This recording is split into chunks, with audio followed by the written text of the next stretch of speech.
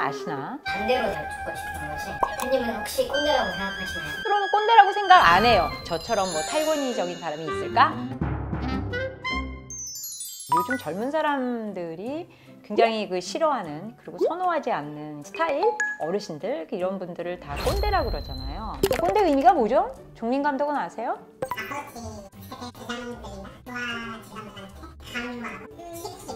어, 재훈 감독은 어떻게 생각해요? 자기의 어떤 권력과 권위를 앞세워서 강압적으로 하는 사람 그 말을 듣고 보니까 그러니까 결국은 굉장히 나중심이고 좀 약간 권위주의적이고 그런 스타일을 가지신 분들을 꼰대라고 하는 것 같은데 사전에서 보면 굉장히 뭐 권위주의적인 어, 사람 어르신들 이런 분들을 약간 폄하해서 하는 얘기가 꼰대다. 뭐 그렇게 얘기를 많이 해요. 리더십에서 이렇게 보면 리더들이 꼰대로 부하들이나 아니면 주변에서 얘기하는 거에 대해서 굉장히 막 억울해하는 분들 무지 많아요. 진짜 저분은 너무 꼰대다, 꼰대 스타일이다 이러는데도 본인은 끝까지 꼰대가 아니고 나는 뭐 그러니까 인정도 안 하고 그리고 본인이 꼰대를 하는지 꼰대인지 아닌지도 잘 모르는 거죠. 아 이분들이 꼰대인지 아닌지 뭐 이런 거를 좀 알아볼 수 있는 방법이 있나 없나 뭐 이런 걸 제가 궁금해한 적이 있는데 뭐 그런 테스트가 있다고 들었는데 그런 테스트 있는 거 맞아요?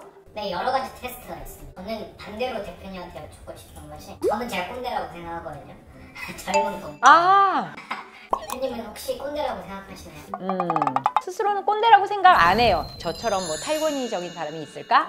뭐 약간 잘난 척을 하자면 그렇긴 한데 그거는 뭐 또 모르죠. 저는 그렇게 생각하는데 주변에서 저를 어떻게 생각하는지는 어, 그건 또 모르죠. 꼰대라고 생각되진 않는데 저희 조금 더 면밀히 보기 위해서 테스트 한번 해보시면 어떠실까요? 꼰대로 나오면 이것도 굉장히 창피한데 예, 한번 근데 해보고는 싶네요. 한 문제 드리겠습니다 음, 여덟 가지 꼰대 유형 지수. 음.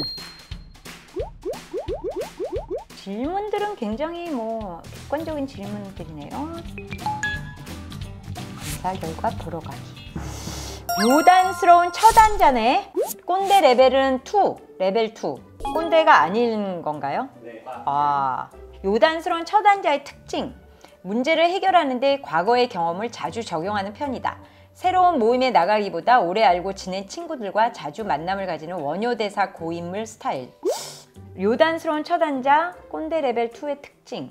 후배들에게 꼰대처럼 보일까 걱정이다. 꼰대로 나오면 이것도 굉장히 창피한데 뭐 이게 맞는 것도 있고 틀린 것도 있는 것 같은데 흥미로운 거는 어쨌든 제 꼰대 수준이 일단 레벨 2로 나왔기 때문에 제가 그렇게 많이 꼰대는 아니다. 많이 권위적이지는 않다. 뭐 이렇게 이제 생각이 되네요. 근데 이런 검사하라 그러면 리더분들이 다들 굉장히 막 두려워할 것 같아요. 이게 막 레벨이 어떻게 나올까 굉장히 어, 두려워할 것 같은데 이게 사전적 의미에 보면은 굉장히 권위주의적인 어, 어른들을 폄하하는 표현이 이제 꼰대라는 표현으로 쓴다 그러는데 그래서 여기 보면은 이게 나이라는 그런 이 특성이 들어갑니다. 나이가 많은 사람들이 자기중심적으로 또 이제 권위를 버리지 않고 권위적으로 어, 다른 사람들을 대할 때 특히나 이제 젊은 세대를 그런 식으로 대한다 그러면 이제 꼰대라고 얘기를 한다는 거죠. 나이라는 거는 세대만의 특성이 있기 마련이죠. 왜냐하면 어, 시대가 이렇게 변해가기 때문에 뭐 한 세대가 아주 집합적으로 어, 공통적으로 이렇게 같이 이렇게 시대를 겪어나가기 때문에 분명히 그런 시대상이 주는 어, 그런 영향은 있을 거라고 생각이 됩니다. 그러나 어, 저의 믿음은 사실은 세대 차이보다는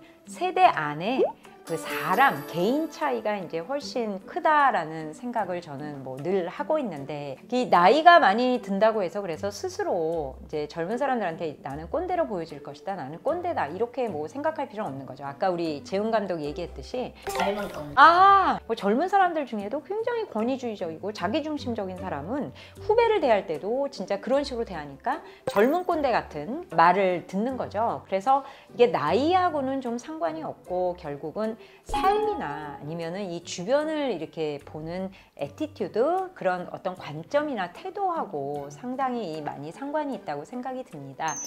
이제 오늘 이 꼰대 테스트를 해보니까 많은 문항들이 결국은 이제 본인의 스타일하고도 되게 많이 상관이 있는 것 같아요. 나이가 많이 들었다고 어, 뭔가 이렇게 너무 권위주의적이고 어, 내가 한 경험이나 아니면 나의 관점만을 주장하기보다는 실제로 그 내가 이렇게 상호작용하고 소통하는 사람이 나이나 아니면 직급이나 뭐 성별에 상관없이 정말 그 사람을 개별적인 인격체로 그 사람을 봐주고 존중해주고 이 관심을 갖는 그런 모습을 보인다면 어, 실제 이 꼰대라는 그런 이미지에서는 뭐 얼마든지 탈피할 수 있지 않을까 하는 생각이 듭니다.